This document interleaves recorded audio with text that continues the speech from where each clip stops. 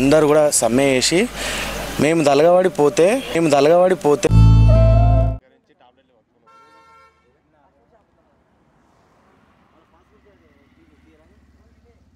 Hi guys ఇప్పుడైతే మనం బర్రెలకి ఇంటి ముందు ఉన్నాం. గొర్రెలకి ఇంటి ముందు ఒక ఫ్లెక్స్ అయితే ఉంది.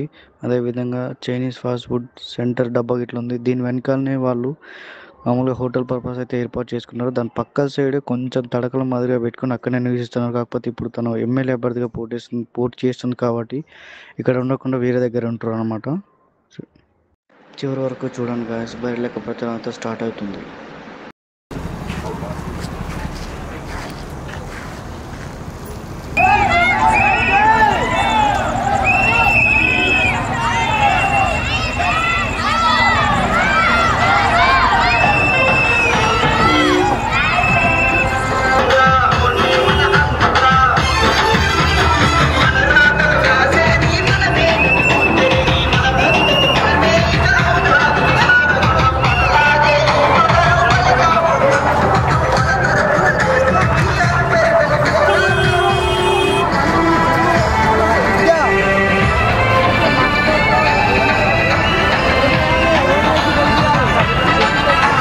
Michigan.